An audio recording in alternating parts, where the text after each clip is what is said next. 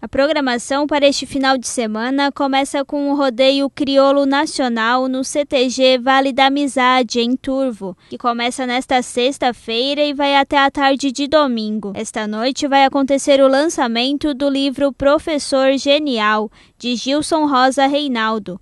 O local do lançamento será o shopping acadêmico da Unisul, às 7 horas da noite. Eu queria convidá-los para ele na sexta-feira, dia 5, às 19 horas, aqui na livraria uh, Nobel, agora é Mariá. Mudou o nome. Mudou né? o nome uhum. da, do shopping acadêmico da Unisul.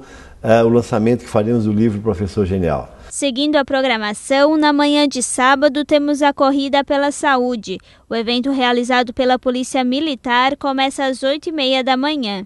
E vai ser uma prova organizada pelo Cortuba, é só entrar no site do Cortuba ou lá na, na Risco Zero também você consegue fazer a inscrição e se cadastrar e participar, que vai ser um evento bacana. Sábado também será dia da Feira Multicultural, que começa às 10 horas da manhã e vai até às 8 horas da noite. A Feira Multicultural é uma atividade a ser desenvolvida na, na comunidade Guarda Margem Esquerda, Santo Anjo da Guarda, no Salão Comunitário. É uma, uma feira que é aberta para a comunidade de Tubarão e toda a região, mas tem a participação de expositores eh, tanto local como da região.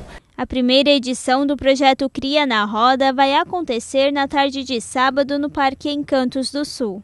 Vai ser no Parque Ambiental, né, Encantos do Sul, a partir das 15 horas.